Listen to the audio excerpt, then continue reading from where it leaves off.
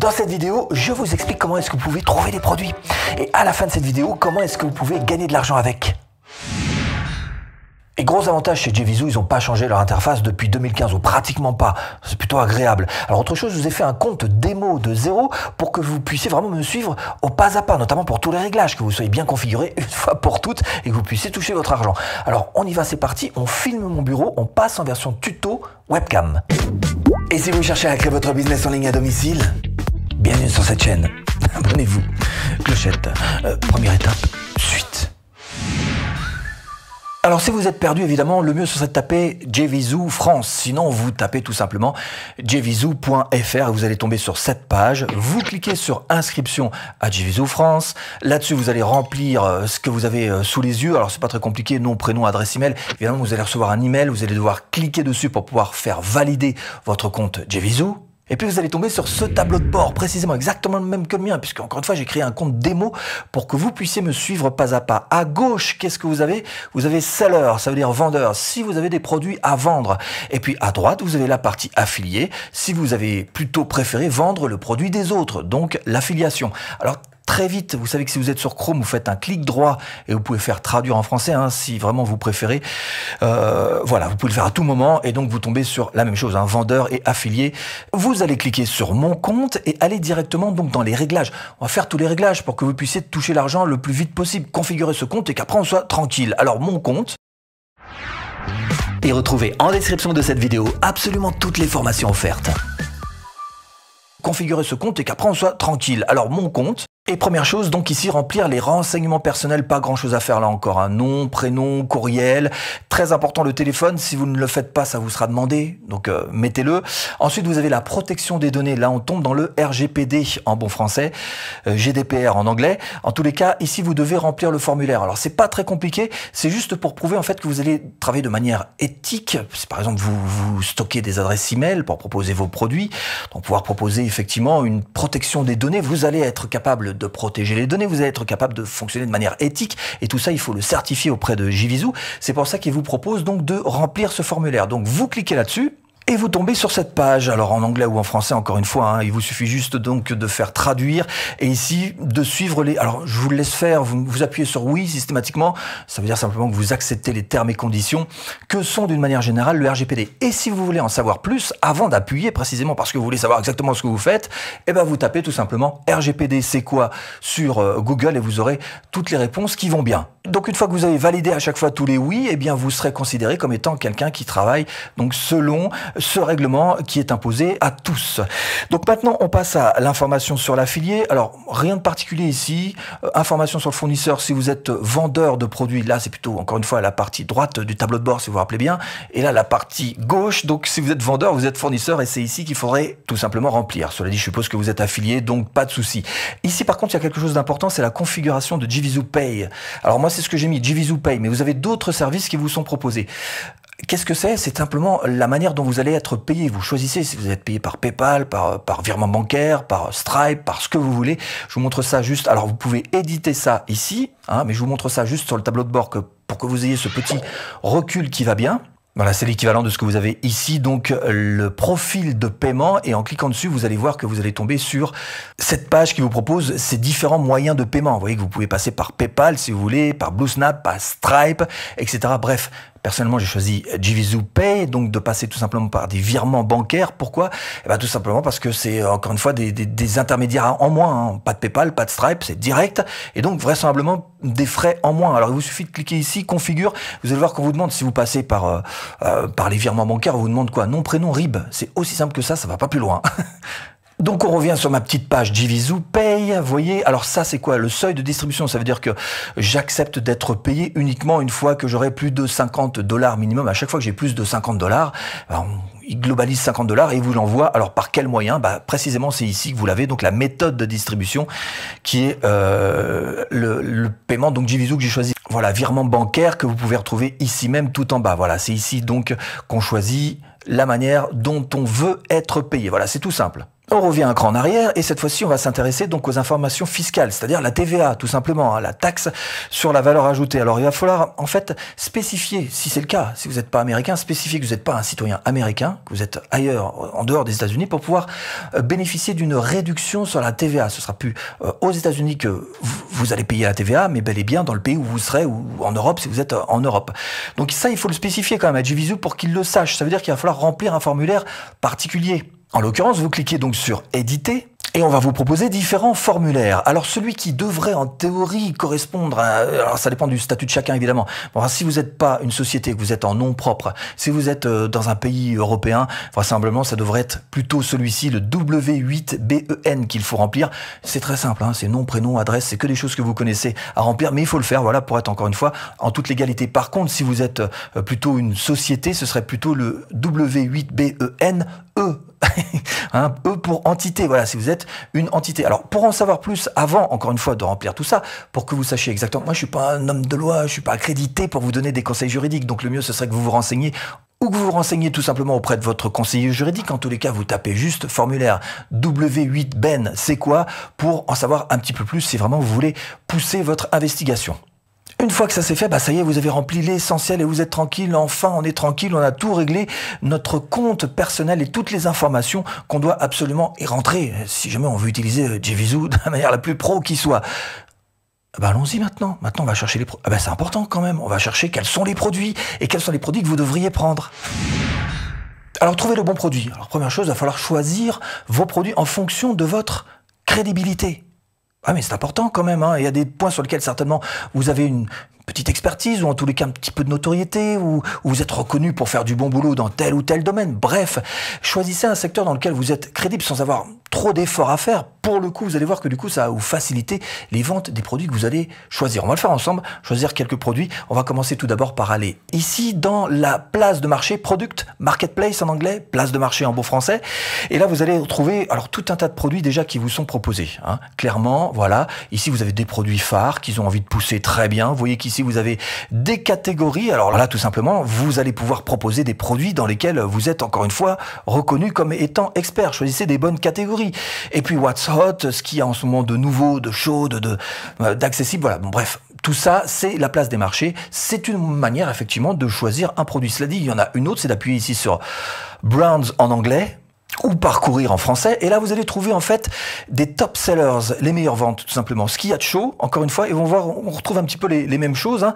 Euh, des produits donc qui sont, et voilà, tous les produits. Bref, Évidemment, alors en quelques mots peut-être, comment est-ce que ça fonctionne ces fiches Parce que vous voyez qu'en fonction de chaque produit, vous avez euh, ces fiches qui sont proposées. D'abord ici, vous avez la page de vente. Si vous cliquez dessus, vous allez voir la page de présentation du produit. Ensuite, vous avez euh, des avis qui sont donnés. Ici, c'est une nouveauté. Le nombre de ventes, c'est important. Hein. Là, on a un, produit qui, a un avis plutôt moyen-moins. Mais bon, ça se vend quand même pas mal. 1068 ventes, voilà. Et euh, vous avez moyen aussi de voir aussi une revue complète de ce qu'est exactement le produit. Et vous pouvez même l'acheter d'ailleurs pour vous-même directement par ici. Donc voilà comment fonctionnent ces fiches à cet endroit-là. Mais nous, on va pas se servir exactement euh, de, cette partie-là. On va aller un petit peu plus en profondeur. Je clique en arrière, deux clics en arrière pour revenir à jvizu.com qui nous met automatiquement sur notre dashboard. Et on va aller cette fois-ci dans les top sellers parce que c'est là que se trouvent évidemment les meilleures ventes. Et c'est d'ailleurs tout indiqué, tout est propre, c'est clair. Ça, ce sont les meilleures ventes du jour, les meilleures ventes hier et les 10 meilleures ventes également durant ces 7 derniers jours. Vous avez même les 30 derniers jours. Vous allez pouvoir choisir ici effectivement en fonction, encore une fois, de ce pourquoi vous êtes le plus crédible. Hein, vous allez pouvoir choisir des produits en fonction aussi de ce que votre audience serait à même euh, d'apprécier. Alors, on va prendre un petit peu n'importe lequel, nous, pour voir euh, et faire la démonstration. Appuyez sur le premier qui vient, on appuie sur donc Affiliate Details, les détails euh, d'affiliation. Et deux, trois indications vous sont données qui sont plutôt importantes. Je vais me mettre en français, voilà, comme ça tout le monde pourra suivre. Vous avez ici alors, le prix de vente qui est de 33 dollars. On vous dit qu'on vous donne quand même une, affiliation, une commission d'affiliation de 60%, euh, ce qui est pas mal quand même. Hein. Et surtout, c'est ça c'est le principe, vous pouvez pas y déroger, c'est le principe de Jivizu. Il faut que vous demandiez au vendeur la permission de pouvoir promouvoir son produit, donc de toucher les commissions d'affiliation. Ça, c'est pas très compliqué, il vous suffit juste de lui envoyer par ce champ qui est prévu pour un petit mot très simple Hop, voilà, en anglais évidemment, c'est la langue internationale. Donc euh, bonjour, j'aimerais promouvoir votre produit euh, auprès de ma liste email, de mon blog, de mon groupe Facebook. Alors selon ce que vous avez, évidemment, vous mettez ce que vous voulez, ce que vous avez en tous les cas, euh, ma chaîne YouTube auprès de mon audience. donc regards cordialement, donc et puis vous signez. Voilà, un truc tout simple comme ça, ça suffit. Si vous savez pas quoi mettre, vous recopiez. Voilà, si vous connaissez pas l'anglais, recopiez ça. Mais simplement, mettez pas exactement la même chose parce que vous n'avez pas forcément exactement les mêmes supports, les mêmes médias, d'accord? Donc vous cliquez sur j'ai lu vous dites que vous n'êtes pas un robot et vous faites demander l'approbation. Vous cliquez sur ce bouton vert et il y a une sorte d'email qui va partir directement au vendeur et vous en aurez la réponse dès que ce sera fait. Et vous le saurez d'ailleurs par email, hein, tout simplement. On va vous envoyer un email euh, et vous saurez que votre produit a été approuvé. Cela dit, vous pouvez les retrouver ici aussi d'ailleurs, dans produits approuvés, dans affiliés. Donc vous cliquez dessus et vous allez euh, trouver. Alors moi j'ai fait une demande, me semble-t-il, sur un produit pour vous montrer. Voilà, ici vous avez donc euh, le produit sur lequel j'ai fait une demande et vous voyez que vous avez ici le titre du produit. Alors vous allez me dire, j'ai fait qu'un seul produit. Oui, mais il y a toutes les déclinaisons qui vont avec et vous voyez que là, pour celui-ci, il y a, pratiquement une dizaine de déclinaisons. Hein. Donc là, vous saurez grâce à ce menu en particulier que bah, votre demande d'approbation euh, s'est plutôt bien passée dans les produits approuvés. À partir de là, bah, vous allez pouvoir tout simplement obtenir les liens ici en cliquant sur le bouton vert, si c'est celui que vous avez choisi par exemple, vous faites obtenir les liens et donc vous allez avoir évidemment votre lien personnel, c'est celui-ci qu'il faudra donc promouvoir. Cela dit, si vous voulez en savoir plus, ce que vous pouvez faire aussi évidemment, c'est d'appuyer tout simplement sur ce lien en particulier et là vous allez tomber sur, eh ben, toujours la même chose, on est d'accord. Hein, et donc vous aurez encore une fois le récapitulatif de euh, ce dont il s'agit très précisément.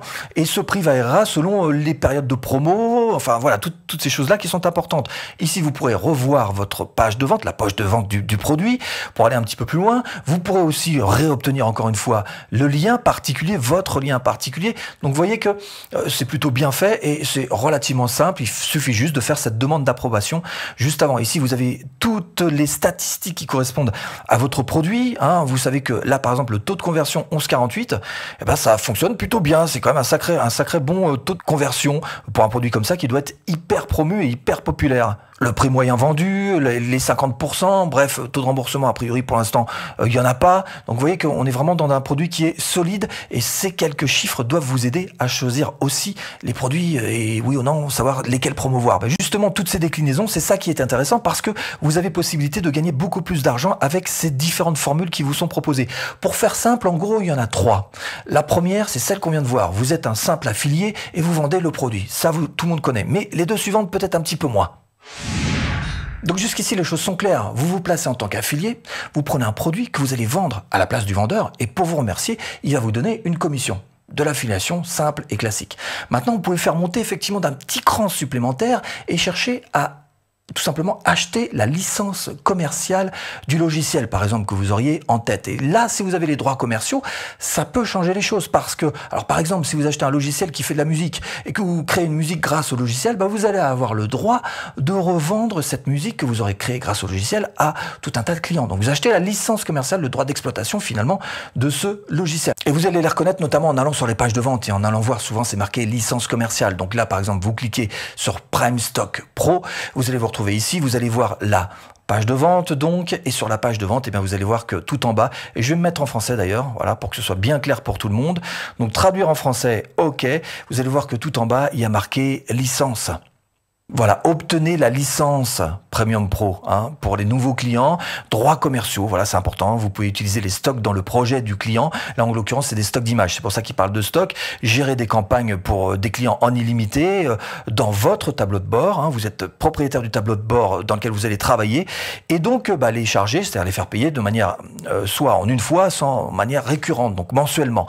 Donc voilà les, les droits commerciaux que vous pouvez avoir. évidemment tout de suite c'est un petit peu plus cher qu'un simple produit que vous achetez en affiliation. Mais encore une fois, si vous voulez travailler, alors après vous allez me dire ouais mais on fait quoi euh Eh ben si vous achetez une, euh, un logiciel en particulier, vous pouvez très bien, grâce à son utilisation, partir après sur 5euros.com et puis proposer des microservices. Voilà, des microservices à tous ceux qui voudront euh, bah, tout simplement acheter les produits que vous allez pouvoir fabriquer grâce à ce type de logiciel qui est à vendre sur Jevisu. On revient sur le tableau de mon produit approuvé, donc version affiliée, version licence commerciale et version aussi, ici vous le voyez, donc on marque quoi 200 comptes, 100 comptes, 50 comptes. Voilà, c'est là 50 comptes. Alors qu'est-ce que ça veut dire? Bah Là, ça veut dire simplement que vous allez pouvoir carrément acheter le logiciel. C'est-à-dire qu'il devient à vous, alors pas, euh, pas non plus avec des comptes à l'infini, puisque vous voyez que vous achetez en fait 20, 100, 50 comptes, voilà, un nombre de logiciels particuliers que vous allez pouvoir revendre après, ce qu'on appelle en marque blanche, comme si vous étiez le fabricant. Exactement pareil, vous aurez les mêmes droits. Alors comment est-ce que vous reconnaissez ce type de... Évidemment, c'est un petit peu plus cher, on est d'accord, mais comment est-ce que vous reconnaissez ce type de logiciel? Bah Là encore, il faut aller voir sur la page de vente un petit peu ce qui s'y passe. Là, vous voyez qu'on a 147, ça monte un petit peu effectivement, mais ça paraît juste logique. Alors la page de vente, et on va aller voir tout en bas, toujours pareil dans la pricing table, dans la, table de prix, euh, ce qui nous dit, c'est que là, vous pouvez acheter effectivement 25 licences. vous pouvez vendre ça à 200 clients et vous vendrez le logiciel comme si vous étiez encore une fois, ce sont des licences de compte. Donc chaque client aura accès aux fonctionnalités. Vous aurez juste à créer à vos clients un compte, c'est simple, hein, vous mettez leur adresse email avec un mot de passe. Et vous pouvez créer donc 200 comptes pour vos clients à partir d'un tableau de bord très simple hein, que vous avez à disposition. Vous pouvez le revendre jusqu'à donc 200 fois pour cette licence en particulier. Donc voilà le principe de euh, la marque blanche, donc pouvoir acheter un logiciel et le revendre à des clients potentiels euh, au nombre de fois que vous voulez en fonction du nombre de licences que vous achetez. Et évidemment, vous en doutez, vous aurez droit de faire aussi le prix que vous voulez, le revendre au prix que vous voulez, en faire tout le marketing à votre manière. Donc vous voyez qu'il y a évidemment beaucoup d'avantages aussi à acheter des logiciels et pouvoir les revendre comme ça en marque blanche. Et si vous cherchez à créer votre business en ligne en partant de zéro, je vous ai mis là-dessous ou en premier lien de description une formation offerte. Tout de suite, eh si tu cliques.